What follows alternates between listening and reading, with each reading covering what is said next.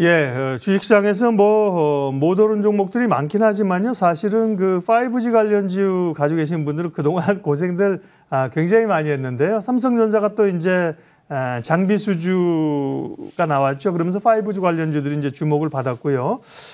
어, 관련돼서 이제 상승 흐름을 연속적으로 갈 수 있을까? 통신 장비 시장의 흐름들 살펴보도록 하겠습니다. 음, 오늘은 바라온 파트너스 이재준 대표님 그리고 정경민 변리사님 두 분과 함께 합니다. 어서 들어오십시오. 먼저 이 대표님, 그러니까 삼성전자가 지난번에도 뭐 지난번에 규모가 훨씬 더 컸었죠. 8조 원인가 이번에 1조 원 규모의 이제 통신 에, 장비 미국에서 수주를 한 건데요. 내용하고 의미부터 좀 짚어주십시오. 네, 지난주도 그 기산텔레콤이라는 종목 가지고 이제 네, 5G 관련 맞습니다. 이슈 네. 이야기를 했었던 걸로 기억하고 있는데요. 일단 그 시황 그 산업 업황 자체 5G 자체가 최근에 이런 단기적인 모멘텀이나 이슈들이 좀 계속해서 좀 나타나고 있는 것 같습니다. 이 삼성의 이 통신 장비 두 번째 계약에 대한 부분들도 결국 좀 의미 있는 숫자라고 좀 보고 있는데요. 일단 그 숫자적인 양도 중요하지만 이 질적인 부분에 대한 것들도 내용적인 부- 부분도 좀 파악을 해야 될 것 같습니다. 이 5G 가상화 기술기라는 부분으로 해서 현재 그 포함해 가지고 통신 장비 계약을 했는데요. 통신 장비에서도 5G 네트워크 구축에서 이 5G 가상화 기지국이 굉장히 핵심으로 현재 분류되고 있습니다. 네. 기술적인 측면에서도 그렇기 때문에 이 최첨단 5 자- 장비 기술로 인해 가지고 다시 한번 삼성전자의 5G 통신 장비 쪽에 기술 경쟁력을 다시 한번 입증을 했다라고 좀 볼 수 있을 것 같고요. 결국은 이 기술력은 물리적인 시간과 비용을 절감할 수 있는 큰 장점이 있습니다. 전반적으로 이 기술 발달로 인해 가지고 좀 원가적인 부분이나 또는 이 효율성적인 측면 앞으로 이 4차 산업 시대에 있어서 이 통신 속도가 굉장히 중요하기 때문에 이 관련 기술이 아마 여러 분야로 다양하게 퍼질 것이라는 기대감이 좀 있을 것 같고요. 어, 이 삼성전자가 미국에서 현재 입지를 계속해서 강화하고 있습니다. 버라이즌 이어서 이번에 두 번째 공급도 결국은 이 미국 내에서의 포지셔닝을 더 구축하고 있다라고 보시면 좋을 것 같습니다. 그로 인해서 이 미국 내 마켓 시어도 확대할 것으로 기대를 하고 있고요. 이 다른 글로벌 시장에서도 현재 상용 역량에 대한 부분들도 입증을 받았거든요. 네. 결국은 이런 reference 바탕으로에 대한 5G 통신 장비에서는 first 이 기업으로 해서 좀 먼저 선도할 수 있다라고 좀 어, 볼 수 있을 것 같습니다. 네. 정변리사님, 우리가 5G 뭐가 완전히 이제 활성화나 이렇게 퍼진 것 같지 않음에도 불구하고 이제 또 6G 얘기가 해요. 나와요. 그러면 이제 5G하고 6G는 어떤 차이가 있는 건지 그리고 이게 빠른 시일 내에 구현될 수 있을까 궁금합니다. 물론 아직 5G도 완전히 지금 설치가 안 된 상황에서 6G라는 것을 논의한다니까 약간 의아하신 분들이 좀 계실 거예요. 하지만 이제 상용화 뭐 이런 거랑 무관하게 지금 6G 뭐 다른 통신에 대한 연구는 지금 계속되고 있기 때문에 뭐 기술은 이제 발전이 되고 있다 이렇게 보시면 되겠고요. 5G랑 6G랑 이제 완전히 이제 결이 다른 기술은 아니고 기술 개발을 이제 꾸준히 하다가 어느 정도 정해진 선을 넘는 그 시점부터 자 이제 지금부터는 6G라 부릅시다 뭐 이렇게 하겠다로 이해하시면 되겠습니다. 이를 통해서 이제 백서들이 각각 국에서 지금 나오고 있는 상황입니다. 6G에서 보통 공통적으로 얘기하는 내용들은 이제 뭐 3D 홀로그래픽 영상 서비스부터 뭐 끊기지 않는 VR, 뭐 AR 서비스, 뭐 보편화된 자율주행 뭐 이런 얘기들을 많이 하고 있습니다. 6G는 이런 서비스들을 이제 가능하게 할 필수 기술로 해석이 되고 있고 1테라 bps 이상의 초고속 전송 속도, 100 마이크로세크급 초저 지역 무선 통신 이런 부분들로 정의가 지금 되고 있는 상황입니다. 미국에서 2030년 정도부터 상용화될 것이다 이렇게 지금 선언한 바 있죠. 연구가 필요한 기술로서는 이제 뭐 테라헤르츠 주파수 대역의 활용 기술이라든지 고주파 대역 커버리지 개선을 위한 안테나 기술, 주파수 공유, 새로운 네트워크 토폴로지 기술 등이 되겠습니다. 네. 저는 아직 4G인데 6G 나오면 할 수 없이 5G로 가야겠네요. 그렇게 이제 단계별로 진화를 하니까 통신들이요. 오늘은 그 통신 장비 업체 가운데서 음, 대한광통신을 집중 분석할 겁니다. 변리사님, 대한광통신은 어떤 회사입니까? 대한광통신은 이제 광섬유로 이제 유명한 회사입니다. 광섬유를 전문적으로 생산하던 업체였고요. 네. 이제 2011년부터는 광케이블 사업부를 양수해서 광섬유와 광케이블을 모두 생산하는 예, 전문 업체가 되었습니다. 그래서 광섬유 생산에 필요한 이 모재라고 하는데 이 모재부터 광케이블까지 뭐 생산 수직 계열에 성공한 국내에선 유일한 기업이고 뭐 원가 및 기술 경쟁력 측면에서 상당히 우월한 위치를 차지하고 있다 이렇게 보실 수 있겠습니다. 네. 그러면 어, 통신, 광섬유, 광케이블 이게 이제 속도를 올리는데 굉장히 중요할 것 같은데요. 5G 혹은 6G 분야에서 대한광통신이 어떤 특별한 기술력을 가지고 있습니까? 물론 이제 광 케이블을 생산하다 보니까 네. 당연히 뭐 6G랑 이제 관련이 있을 수밖에 없다 뭐 이렇게 생각하실 수밖에 없는 그런 상황이고요. 네. 어, 뭐 광케이블을 제조하고 독점적인 지위에 있다 보, 있고 광케이블이라는 것은 이제 광학 섬유를 이용해서 빛으로 이제 신호를 주고받는 게 아니겠습니까?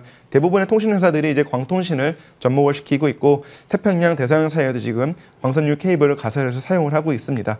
어, 이제 아무튼 이제 6G 세대가 오려면은 통신량이 전에 비해서 더 빠르고 더 많이 증가할 수밖에 없기 때문에 이런 이미 포섭되어 되어 있는 것뿐만 아니라 더 추가적인 광 케이블이 설치가 될 필요가 있고 이미 지금 많은 수주들이 지금 일어나고 있 거든요. 따라서 이제 6G로 가기 위해서는 결국 이제 대한 광통신 같은 그 광섬유, 광케이블에서 우월한 지, 기술력을 갖고 있는 기업들에게 더 많은 수주가 될 것이다. 뭐 이렇게 기, 좀 기대가 되고 있습니다. 네. 그러면 이제 이재준 대표님과 대한 광통신에 대해서 기업 측면에서 또 주가 측면에서 이야기를 하도록 하겠습니다. 통신 장비면 국내 업체들은 어디, 그 다음에 글로벌 업체들은 어디에다가 납품을 하고 있는지, 뭐 시장, 글로벌 시장, 국내 시장 점유율은 어느 정도인지 알려주세요. 네, 그 지난해 말 사업 보고서를 좀 살펴보면은 네. 이 내수와 수출로 해가지고 현재 고객사가 분류가 되어 있습니다. 내수에서는 현재 한국전력과 통신 3사인 SK텔레콤, KT, LG U+에 현재 납품을 하고 있다라고 보시면 되고요. 네. 수출 지역 같은 경우는 기업명이 나오지는 않았지만 현재 그 나라별로 봤었을 때는 유럽이나 미국, 중동 쪽에 현재 현재 납품을 하고 있는 것으로 보고 있습니다. 그 현재 2021년 기준으로 봤었을 때 세계 광 케이블 시장 규모가 약 62억 달러인데요. 2025년까지는 약 80억 달러까지 현재 전망을 하고 있습니다.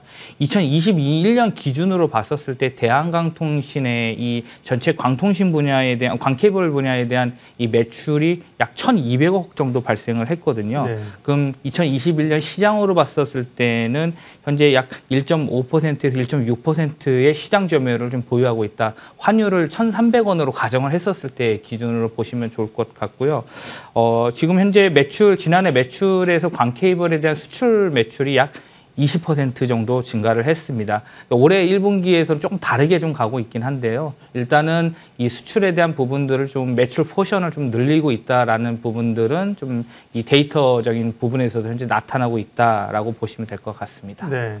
물론 통신 장비 업체들이 장비를 만들어서 주로 국내 이제 통신 3사에 납품을 하지만 아, 이번에도 보면 이제 삼성전자가 이제 발주를 받은 거를 이렇게 오더를 떨어뜨리면서 속에 이제 낙수 효과가 있는 거잖아요. 근데 대한광통신은 어, 오너가 삼성전자 출신이라서 더 기대감이 있다고요? 예, 그렇습니다. 여기가 최근 5년 새에 이 임원 관련해서 교체가 굉장히 많이 일어났습니다. 예. 내부 임원으로만 이제 구성을 했다가 이번에 이제 외부 임원으로 삼성전자 출신을 이제 임원으로 이제 선임을 했는데요. 네. 현재 최대 주주가 TFO 인더스트리라고 14.6% 보유를 하고 있습니다. 네. 그리고 설윤석의 시, 지, 어, 지분이 한 11.7%인데 TFO 인더스트리 또 지분에 있어서 설윤석, 설윤성 이 대표- 이사가 현재 또 절반씩을 가 지고 있습니다. 결국은 최대 주주는 이 설윤석 이, 이 이사가 현재 이제 지배를 하고 있다라고 보시면 좋을 것 같고요. 네. 과거 2017년에 이 오치환 전 대표가 이제 대표로서 있으면서 성과가 매우 좋았습니다. 아무래도 기업 대표로서에 대한 성과는 이 실적적인 부분으로 말할 수 있는 거거든요. 근데 3년 임기를 재섬했는데 개인 이 사유로 인해서 한번 퇴임을 했고요.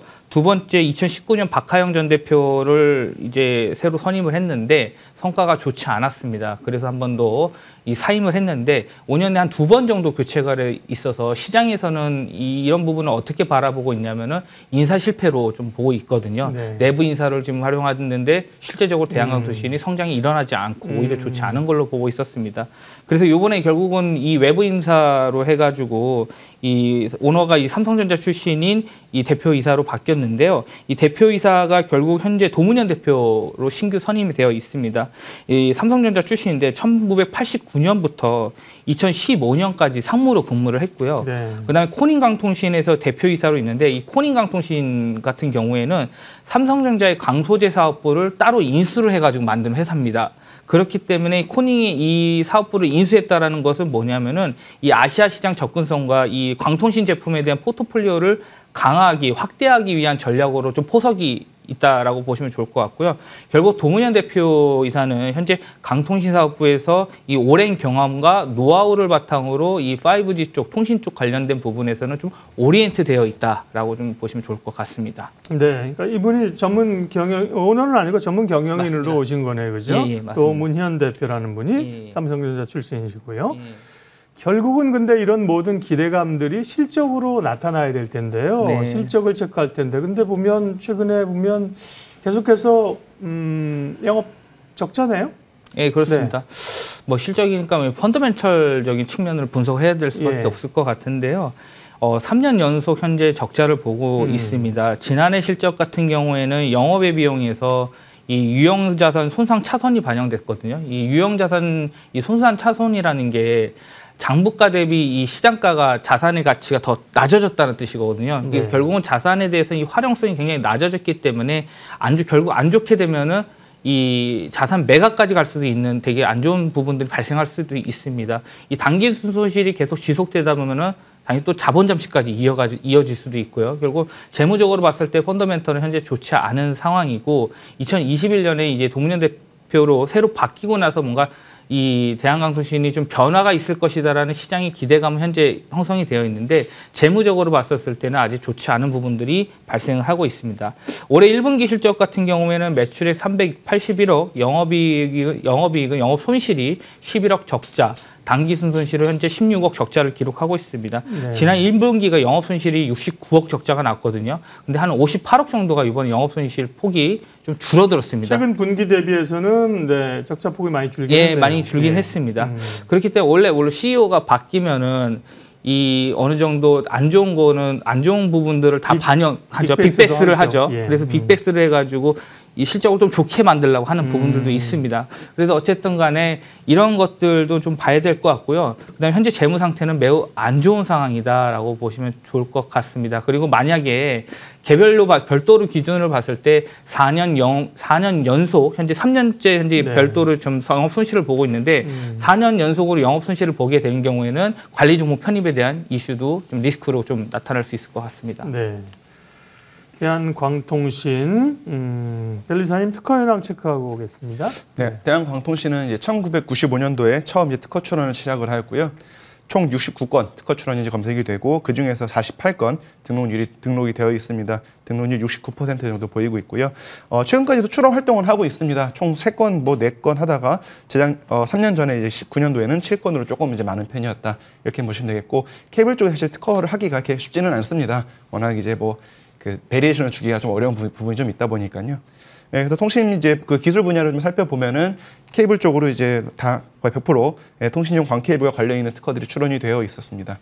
그래서 뭐 어, 5G 관련된 특허가 없느냐 해서 이제 검색을 한번 해봤으니 예, 이제 광 케이블과 전원선을 일체화된 어떤 그 시스템에 대한 내용이었고요. 광통신은 이제 신호를 빛으로 하기 때문에 중간에 빛이 감소하는 현상이 일어납니다. 따라서 중간에 이제 리피터는 리피터가 좀 필요하게 되는데 이 광신호와 다르게 리피터는 또 이제 별도의 전원선이 들어가야 되는데 그러다 보니까 포설하는 과정에서 광 케이블, 광선유 따로 들어가고 전원선 따로 가는 게 상당히 불편하다라는 현장에 이제 그거를 반영해서 그러면 광 케이블과 전원선을 일체로 만들어 보자. 그래서 이제 중간에서는 이제 그 전원선을 따서 리피터의 전원을 공급을 하고 나머지는 광섬유로 신호를 전달하는 그런 특허가 하나가 등록이 최근에 되었습니다. 네. 자, 그러면 이제 어, 수급과 주가 부분을 체크하겠습니다.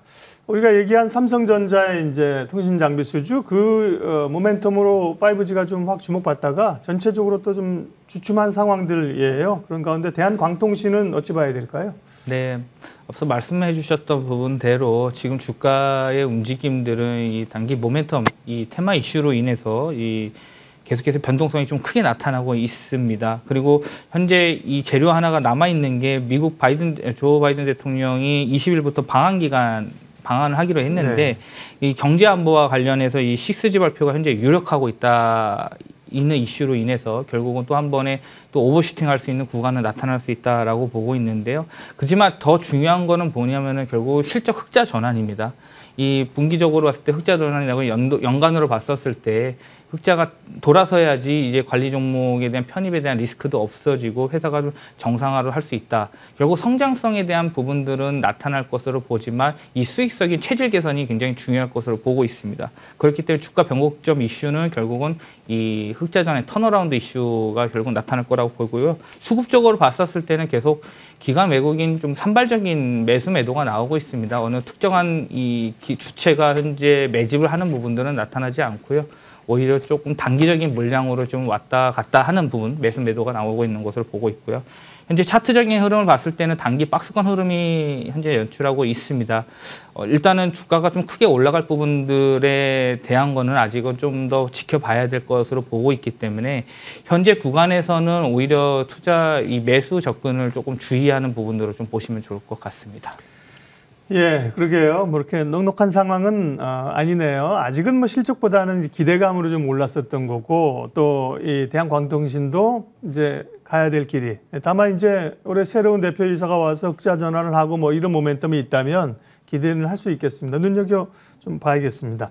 박혜 주민 오늘은 5G 장비 관련된 이야기 대한광통신 분석했습니다. 바로온 파트너스 이재준 대표, 정경민 변리사 두 분 함께했습니다. 고맙습니다.